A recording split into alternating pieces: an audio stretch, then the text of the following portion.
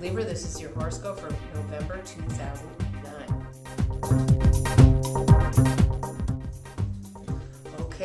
Libra, this is a dream big or die month.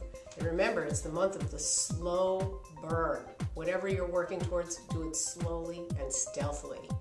A good month to be honest with folks. It's also social cleanup month for Libra.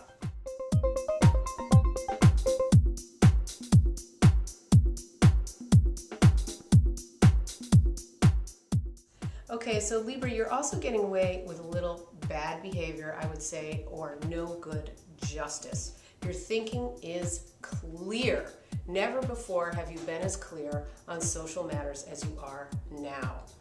It's not about being nobody and it's not about being somebody at all. And Libra is one of the signs that really harbors no je- jealousy around like fame issues and things. They're like, there's enough for everybody to go around.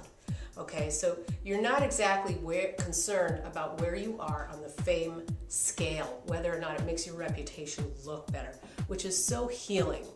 Think about what you can teach us, Libra. Get rid of any wet blanket friends. That's my urge for you.